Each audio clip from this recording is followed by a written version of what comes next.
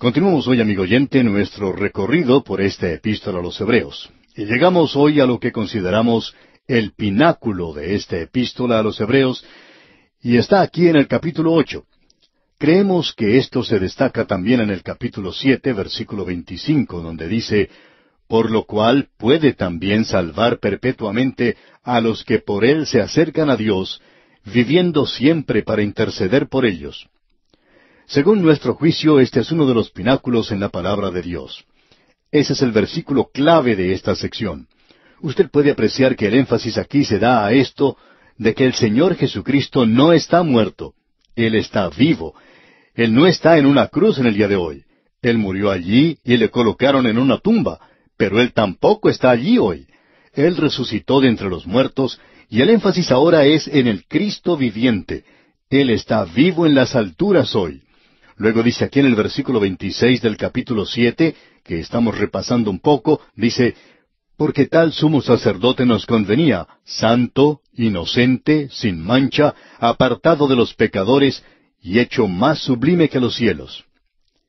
Él es lo que necesitamos, Él es todo lo que necesitamos. Y como vimos en nuestro estudio anterior, Él es santo en su relación con Dios. No hay ninguna duda en cuanto a Él. Las podría haber en cuanto a algún hombre. Ahora, Él es inocente, Él nunca hace nada que pueda herir a otro, nunca actúa airado. Él es sin mancha, Él está libre de toda impureza moral. Él es apartado de los pecadores en su vida y en su carácter. Él se encuentra aquí entre nosotros y Él quiere que nosotros nos alleguemos a Él. Luego dice, hecho más sublime que los cielos. Esto indica que Él está en la presencia misma de Dios. Luego el valor de su sacrificio se declara aquí en el versículo 27 del capítulo 7 de esta epístola a los Hebreos donde leemos que no tiene necesidad cada día, como aquellos sumos sacerdotes, de ofrecer primero sacrificios por sus propios pecados y luego por los del pueblo, porque esto lo hizo una vez para siempre, ofreciéndose a sí mismo.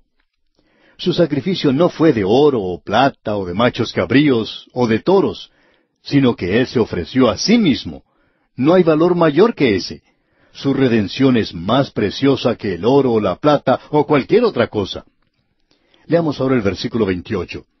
Porque la ley constituye sumos sacerdotes a débiles hombres. Usted no pone su confianza en el hombre cuando coloca la confianza en Jesucristo. Usted pone su confianza en el Dios hombre. Y Él es un hombre porque en el día de hoy él puede simpatizar con usted. Él puede suplir su necesidad aquí. Él es un sacerdote real. Él es un sacerdote justo. Es un sacerdote que promueve la paz. Él es un sacerdote personal. Él es para usted personalmente. Él no heredó ese cargo. Él es un sacerdote eterno. Él no vino del linaje de Aarón, no lo heredó. Y en el capítulo ocho se nos dice que Él ministra ahora en un santuario que es superior por un pacto que es superior edificado sobre promesas mejores. Ahora los primeros cinco versículos del capítulo ocho nos hablan del verdadero tabernáculo. Y quisiéramos leer estos versículos otra vez. El primer versículo dice, Ahora bien, el punto principal de lo que venimos diciendo es que tenemos tal sumo sacerdote, el cual se sentó a la diestra del trono de la majestad en los cielos. Al finalizar nuestro programa anterior dijimos que el escritor iba a resumir esto aquí, pero en realidad él no está resumiendo todo aquí porque hay algo más aún. Si pudiéramos presentar una traducción literal, diríamos lo siguiente. Considerando las cosas de las cuales hemos hablado, este es el punto principal. Nosotros tenemos tal sumo sacerdote. Él se ha sentado en los cielos a la diestra de la majestad. Como ya hemos dicho, este es el pináculo en el libro de Hebreos. Él hizo algo que ningún otro sacerdote en el Antiguo Testamento pudo hacer. Él no es un sacerdote del linaje de Aarón. Aarón nunca tuvo en qué sentarse cuando estaba en el tabernáculo. Él estaba de pie y moviéndose de un lado para otro todo el tiempo. ¿Por qué? Porque tenía que actuar así. Todas esas cosas son nada más que sombras señalando hacia el sacrificio completo. Y cuando Cristo murió, todo eso fue cumplido. Ya no hay necesidad de andar moviéndose de un lado para otro.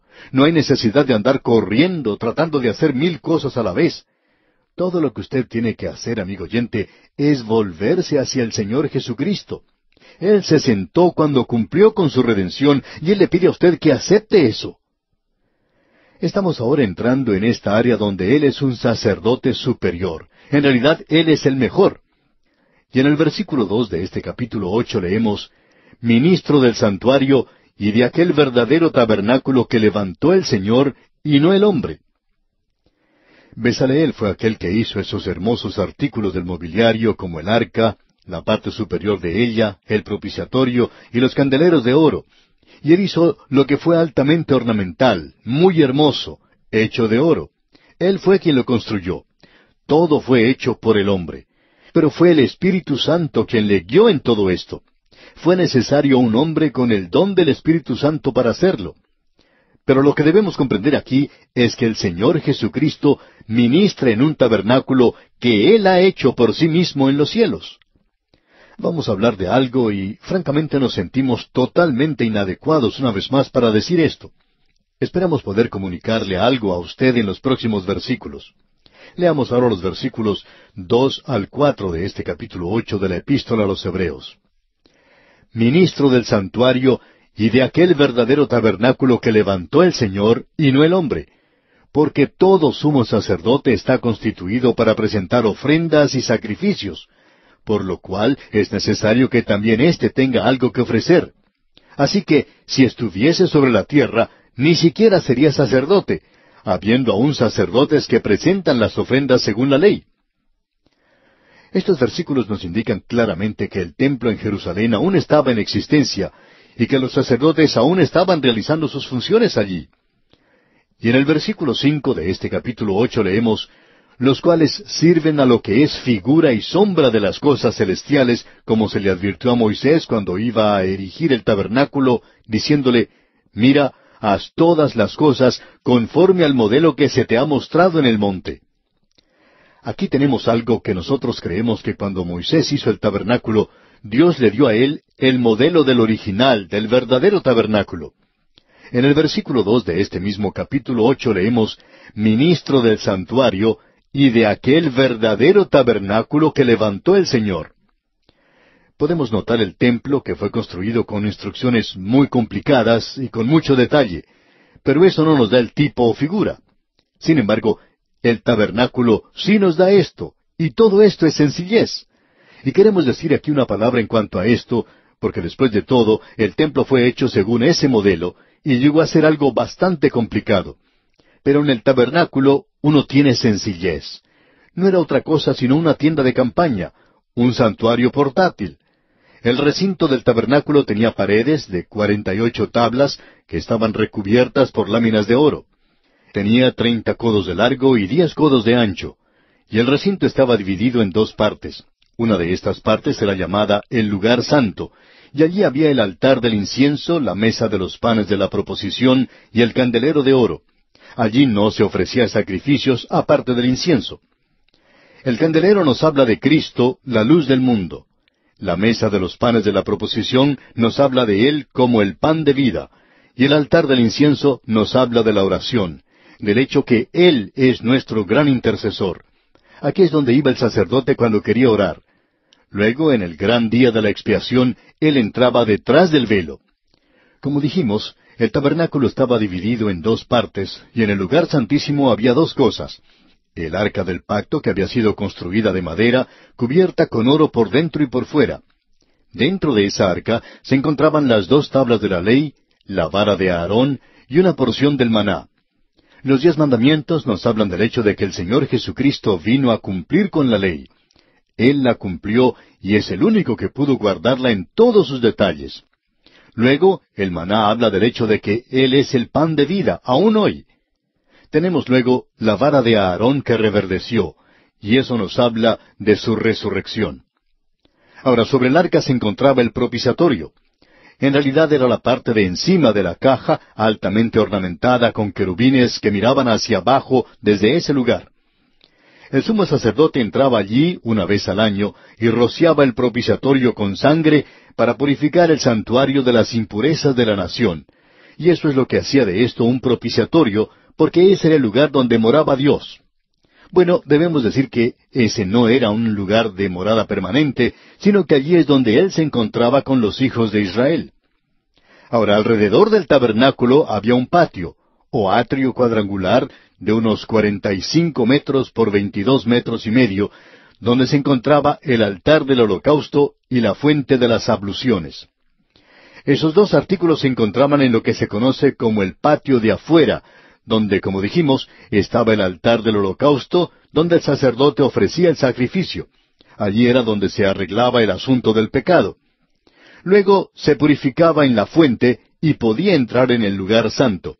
Pero amigo oyente, usted sabe que los santos pecan.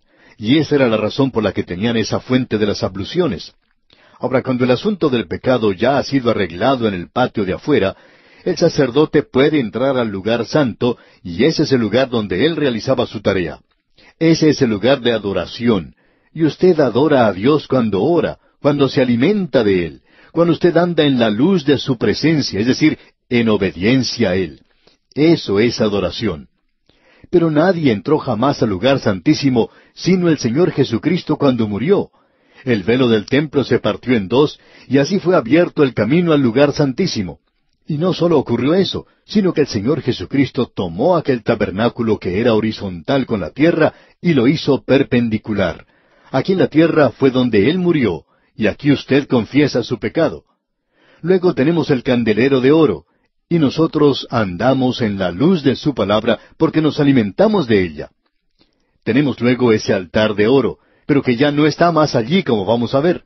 Se encuentra en el cielo, porque allí es donde Él ha ido, y todo el resto de esto se encuentra en el cielo. Eso es lo que queremos señalar. Ahora alguien quizá diga, bueno, ustedes dijeron que cuando entráramos a esta sección aquí, según se nos había advertido en los capítulos cinco y seis, que aquí se iba a comenzar a servir alimento sólido, ya que todo lo que habíamos estado bebiendo era leche, y ahora por cierto nos estaba dando algo profundo. Pero esto parece muy sencillo. Y lo es, amigo oyente. Y alguien quizá nos diga, bueno, entonces, ¿es este el alimento sólido? Sí, lo es y esperamos poder comunicarle a usted exactamente de qué es que estamos hablando.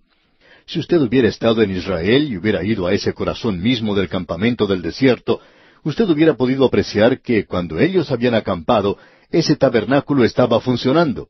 Sobre él había una columna de nube durante el día y una columna de fuego durante la noche, y los sacerdotes estaban muy ocupados yendo de un lugar a otro, Allí se ofrecían los sacrificios, se ofrecía el incienso y toda esta clase de actividad se llevaba a cabo allí y se observaba todo este ritual no dejando nada de lado.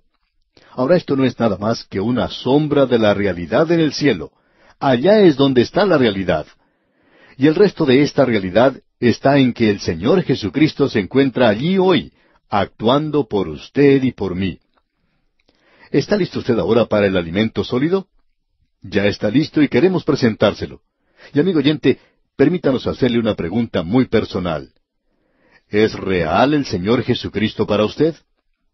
Amigo oyente, si a usted le gusta ir de un lado a otro y le gustan los ritos, si le gusta una reunión hermosa, bueno, no vemos nada malo en eso, por cierto que no deseamos que nos malentienda.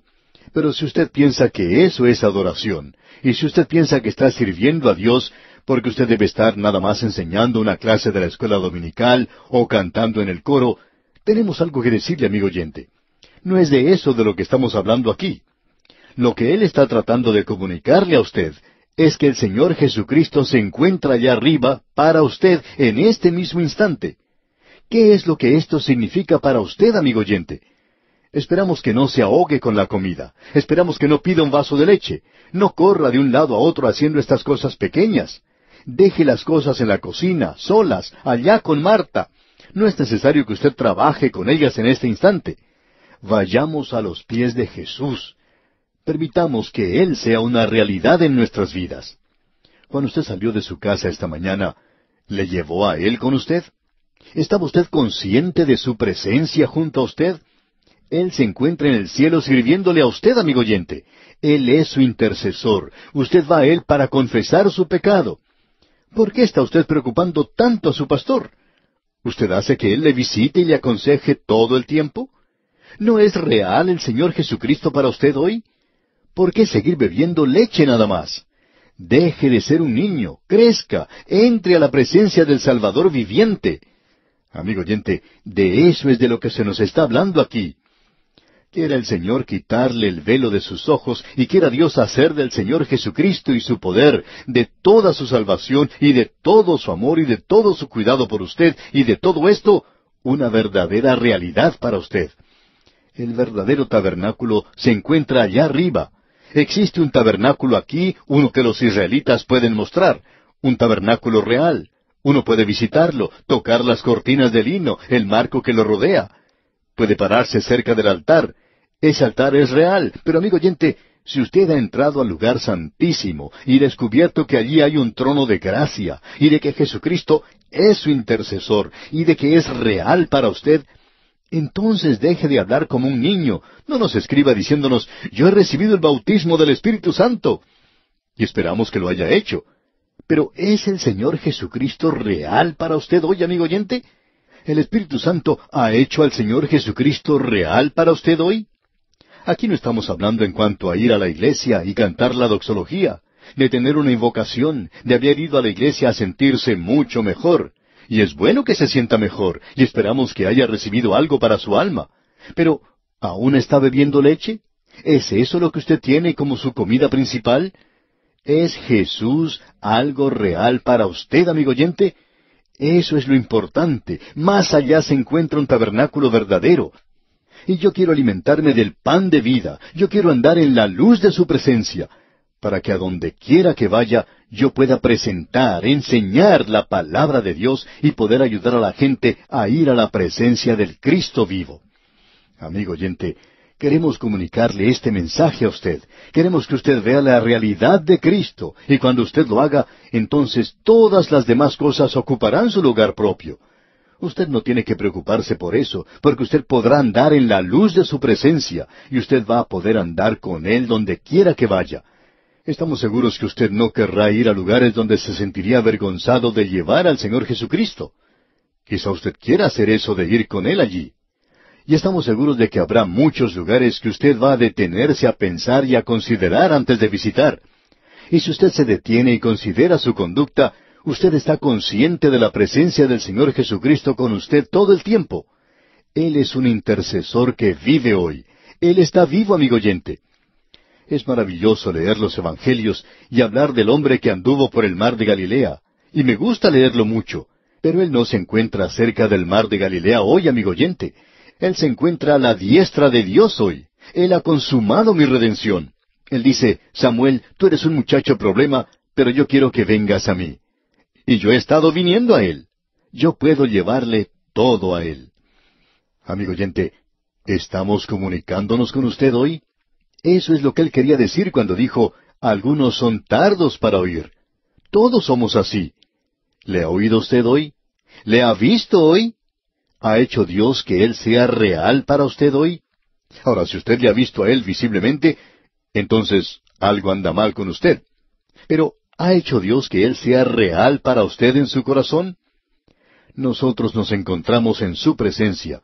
Como hemos dicho, este es el pináculo de la epístola a los Hebreos. Estamos andando por caminos muy elevados, por cierto. Esta es una maravillosa sección.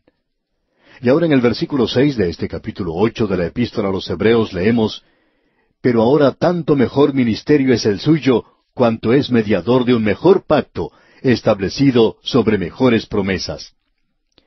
Llegamos ahora a algo diferente. El tabernáculo aquí abajo era nada más que una sombra. El verdadero tabernáculo se encuentra más allá, y Él es real hoy. Él se encuentra allá. Él puede mantenernos salvos. Ahora quizá alguien pregunte, ¿ustedes piensan que uno puede perder la salvación? Amigo oyente, deseamos confesarle algo. Nosotros perderíamos la nuestra antes de que se ponga el sol si el Señor Jesucristo no estuviera allá arriba en este mismo instante. Amigo oyente, Él tiene problemas conmigo y quizá los tenga con usted también. Pero gracias a Dios que Él está allí. La realidad es Cristo Jesús. ¿Cuánto le necesitamos hoy, amigo oyente? Él es el mediador de un mejor pacto. Vamos a ver más adelante en cuanto al mejor pacto que ha sido establecido sobre mejores promesas. Si usted no es un dispensacionalista, amigo oyente, a usted no le va a gustar lo que vamos a decir en nuestro próximo estudio. Quizá quiera hacer alguna otra cosa porque nosotros vamos a ver que Él está hablando en cuanto a estas cosas que son tan importantes hoy si nosotros le queremos conocer. Y bien, amigo oyente, vamos a detenernos aquí por hoy. Continuaremos Dios mediante en nuestro próximo programa. Continuamos hoy, amigo oyente, nuestro recorrido por la epístola a los Hebreos y volvemos hoy al versículo seis del capítulo ocho. Ya hemos visto que el Señor Jesucristo tiene un mejor ministerio en un tabernáculo mejor y que hay un tabernáculo verdadero en el cielo. Él ha hecho del trono de Dios un trono de gracia. Se nos invita a ir allí con gran confianza y con la seguridad de que Él está allí. Esta es una de las cosas, amigo oyente, por la cual usted y yo necesitamos orar por encima de todo lo demás. Señor, yo creo, ayuda mi incredulidad. Yo no sé en cuanto a usted, amigo oyente, pero mi incredulidad es mucho mayor que mi credulidad. Necesitamos acercarnos por medio de la fe. Si usted va a Dios, necesita creer que Él es, y que Él es galardonador de aquellos que le buscan diligentemente. Así es que usted y yo, amigo oyente, necesitamos tener la realidad de Jesucristo en nuestras vidas.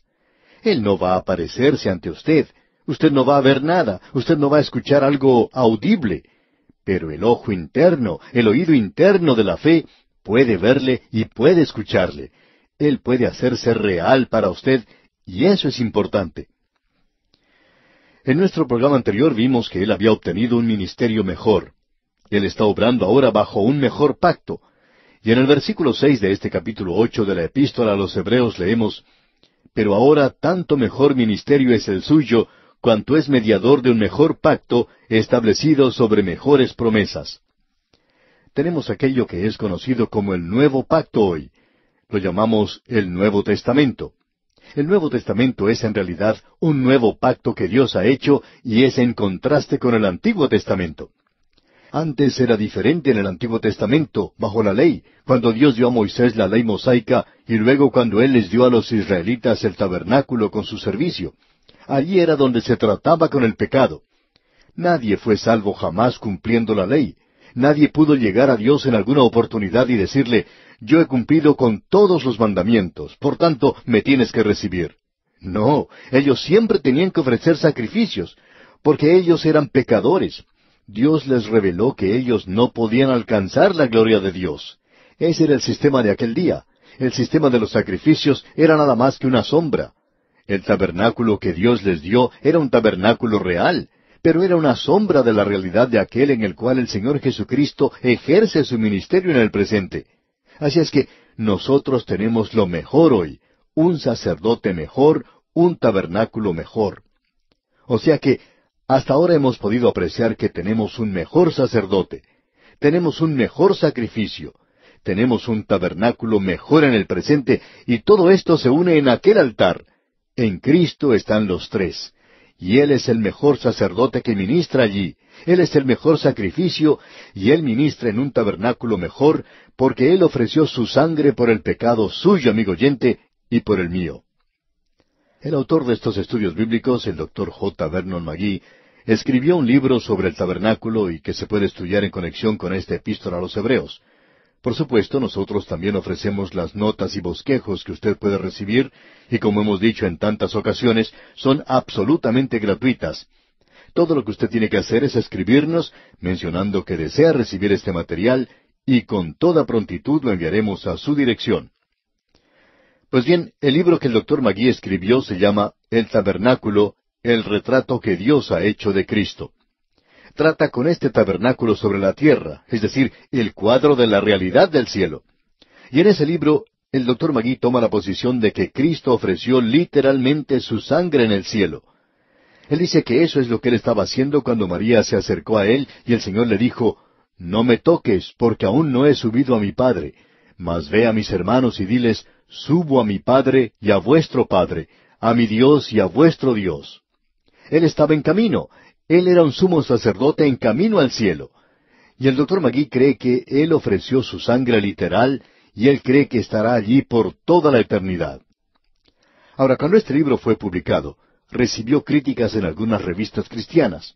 hablaban muy bien en cuanto al libro, pero hicieron una advertencia. Sugirieron que todos los predicadores debieran conseguir este libro, pero dijeron, ustedes tendrán que tener mucho cuidado porque este hombre toma todo literalmente. Él cree que el Señor Jesucristo ofreció literalmente su sangre en el cielo, y eso nos parece algo bastante crudo. Esa fue la advertencia que hicieron. Pero amigo oyente, no creemos que la sangre de Cristo sea algo crudo, ni siquiera cuando fue derramada aquí en la tierra o cuando fue ofrecida en el cielo. No pensamos que sea así, porque aun Simón Pedro, a quien no podríamos llamar una persona muy educada, la llamó algo precioso. Él dijo que era la preciosa sangre de Cristo. Y opinamos que va a estar allí en el cielo por toda la eternidad para recordarnos a usted y a mí, amigo oyente, del precio que fue pagado por nuestra salvación. En cierta ocasión se acercó a un predicador, una de esas matronas imponentes que asisten de vez en cuando a algunas iglesias.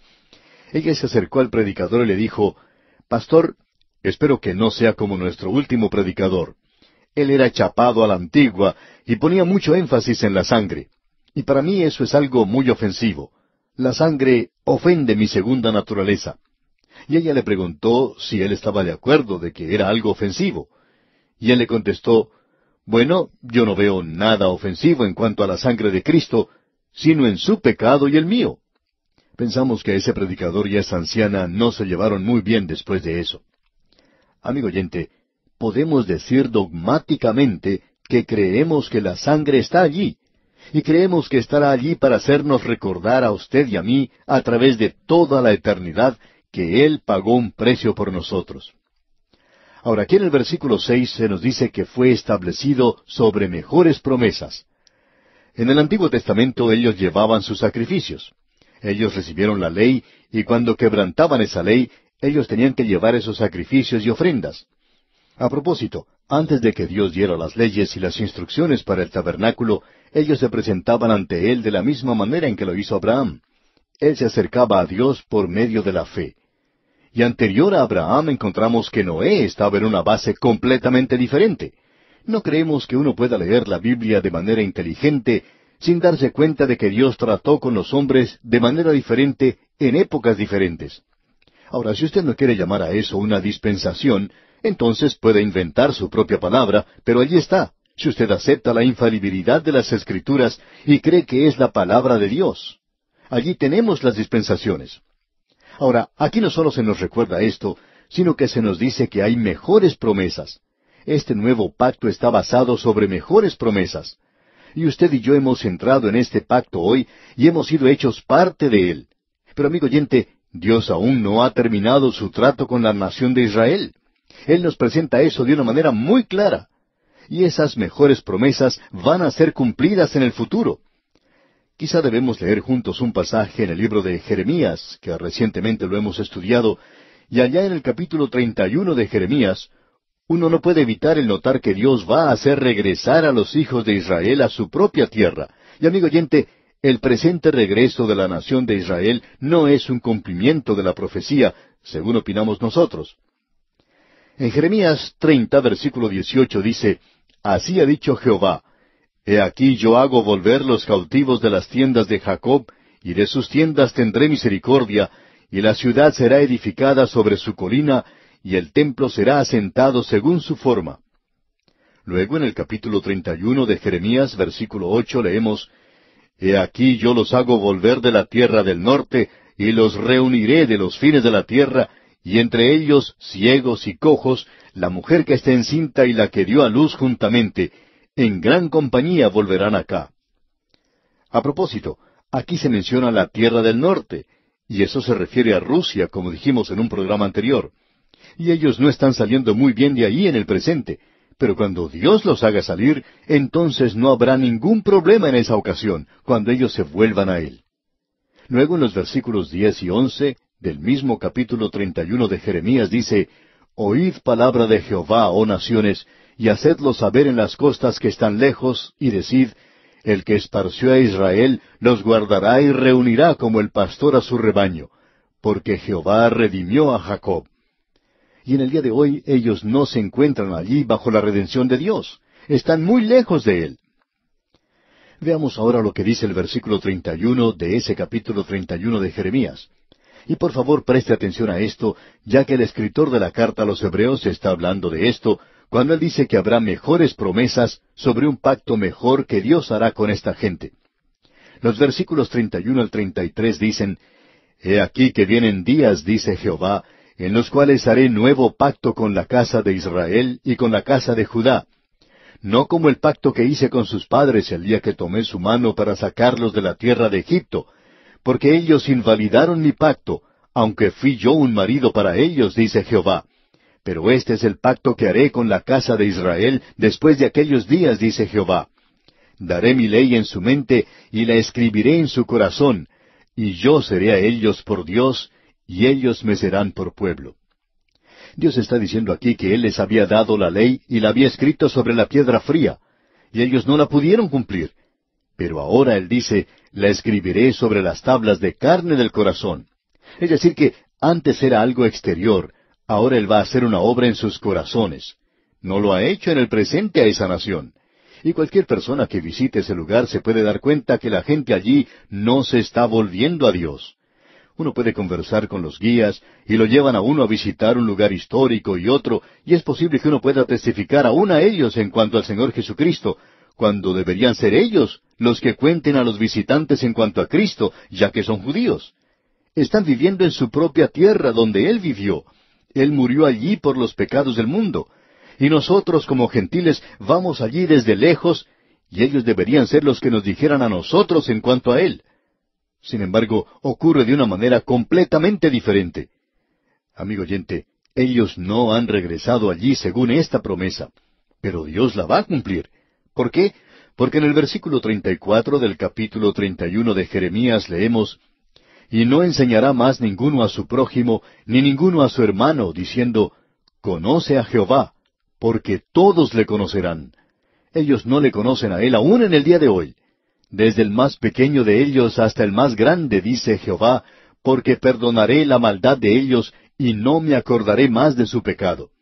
De eso es de lo que nos está hablando el autor de la epístola a los Hebreos, establecido sobre mejores promesas. Volviendo ahora al capítulo ocho de la epístola a los Hebreos que estamos estudiando, leamos el versículo siete.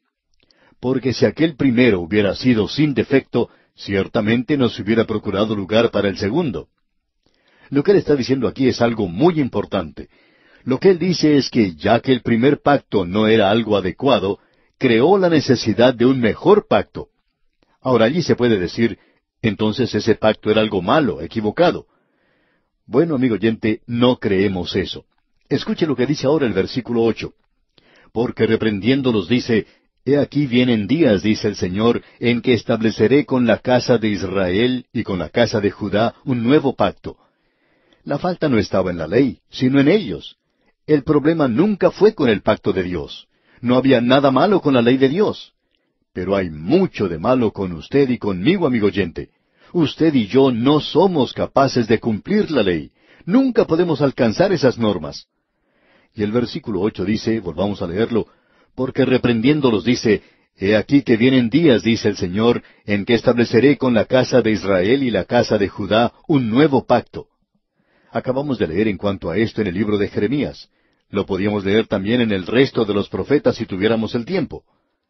Ahora los versículos nueve al trece de este capítulo ocho de la epístola a los Hebreos dicen, No como el pacto que hice con sus padres, el día que los tomé de la mano para sacarlos de la tierra de Egipto, porque ellos no permanecieron en mi pacto, y yo me desentendí de ellos, dice el Señor, por lo cual este es el pacto que haré con la casa de Israel después de aquellos días, dice el Señor. Pondré mis leyes en la mente de ellos, y sobre su corazón las escribiré, y seré a ellos por Dios, y ellos me serán a mí por pueblo. Y ninguno enseñará a su prójimo, ni ninguno a su hermano, diciendo, Conoce al Señor, porque todos me conocerán, desde el menor hasta el mayor de ellos, porque seré propicio a sus injusticias, y nunca más me acordaré de sus pecados y de sus iniquidades. Al decir nuevo pacto, ha dado por viejo al primero, y lo que se da por viejo y se envejece está próximo a desaparecer. Así es que, amigo oyente, nosotros no estamos bajo el sistema de la ley de Moisés. Es el sistema que ya ha pasado. es solamente un modelo antiguo. Ahora tenemos un modelo nuevo y este nuevo pacto Él lo ha hecho a través del Señor Jesucristo. Ahora, ¿lo hizo así porque había acaso algo malo con el antiguo? No, amigo oyente, había algo malo con nosotros. Es por eso que nos da pena por aquellas personas que hoy se aferran, se agarran a la ley, y volvemos a mencionar lo que hemos dicho antes, si usted está bebiendo leche nada más, cuando usted regresa a la ley y cuando usted habla de cumplir con el día del sábado, usted sabe que no cumple con el sistema de Moisés si usted es una persona honesta y sincera. Usted nunca puede alcanzarlo. Pero si usted se acerca a Dios, Él puede demostrar su gracia para con usted. El Señor Jesucristo se encuentra en este instante a la diestra de Dios. Usted puede acercarse a Él y Él le recibirá. Usted y yo no podemos cumplir con la ley. Podemos presentar un ejemplo que ya mencionamos cuando estábamos estudiando el capítulo once de la epístola a los romanos. Es como esa ama de casa que pone carne para asar en el horno y con lo que cuesta la carne hoy, pues eso no se hace muy a menudo.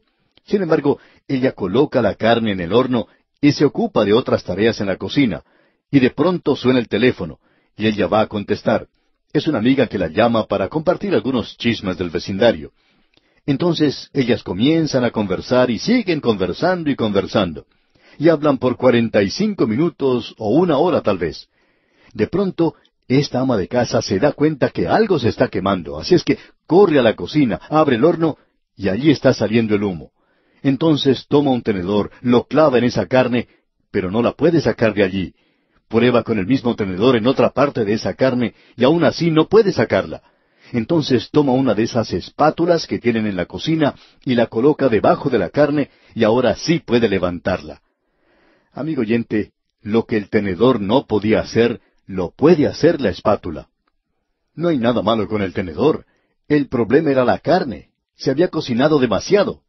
Así es que la ley no podía hacer nada en aquello que era débil a través de la carne. Dios envía ahora al Espíritu Santo y nosotros tenemos un nuevo pacto establecido sobre mejores promesas. Dios nos ha dado el Espíritu Santo hoy, y Él se encuentra allá para ayudarnos en el presente. Este pasaje de las Escrituras es algo verdaderamente maravilloso. Quizá a usted le guste tomar la leche, y sabemos que la leche es algo bueno para nosotros. Y hay leche en la palabra de Dios. Pero también usted tiene que aprender a comer algo de carne, de manjar sólido. Y la carne hoy es el dar más énfasis al Cristo viviente, a su ascensión e intercesión en los cielos. Amigo oyente, cuando usted y yo nos acercamos al Cristo viviente, debemos decirle que nos elevamos a alturas indecibles. No podemos ir más alto que eso en esta época en la cual vivimos. Y bien, vamos a detenernos aquí por hoy. Dios mediante, en nuestro próximo programa, entraremos a estudiar el capítulo nueve de la Epístola a los Hebreos. Mientras tanto, le sugerimos que usted lea este capítulo y se familiarice con su contenido.